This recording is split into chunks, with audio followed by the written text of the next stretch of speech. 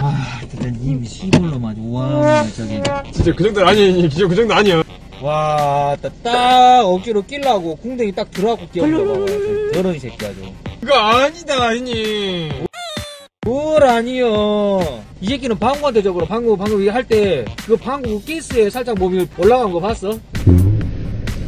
붕, 붕 끼면서 살짝 몸이 들었다가, 야 그, 그걸 진짜 완전히 개 에바지. 뭘 해봐요. 한국에 몸, 몸이 두둑두둑한 사람이 어딨어? 어딨어?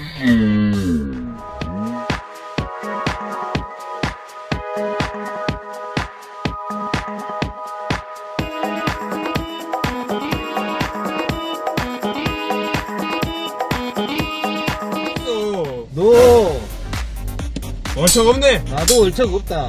꽃이 없을 때, 우린 매일 오줌팔 소리, 방구 소리도. 이 새끼, 그거 방구 끼다가 똥도 싸운 거요. 어, 같이 위험해. 그 정도는 아니야 야 잠깐만 비켜봐봐 그 정도는 아니야? 예 들어봐봐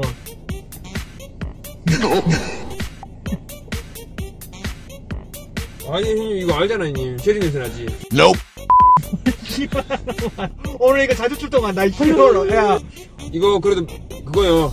택배로 보내줘 시청자들한테. 오늘. 이거 메모리 폼. 나중에 이제 우리 애장품 한번 했잖아. 이제 만약에 하게 되면은 만약에 하게 되면 이거 보내줄게. 이걸로 할게. 채취가 묻은 것이 중요하니까 절대로 볼거나 그러면 안돼. 그냥 이대로 보내준다고. 소리 집어쳐!